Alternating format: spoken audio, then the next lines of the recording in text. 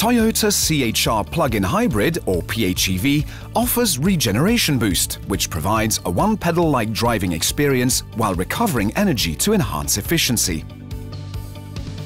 In this video, you will learn how to choose a level of regeneration, turn on Regeneration Boost and make the most of this amazing feature.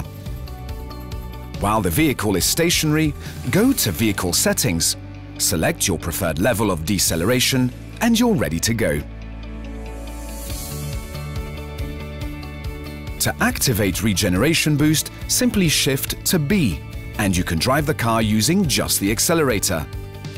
Depress it to go faster and lift off to slow down. This advanced system recovers braking energy and feeds it back into the battery to help you drive on electric power for longer between charges. It only takes a few minutes to get used to, and you may find that it makes driving easier. Remember that you will need to press the brake for a complete stop.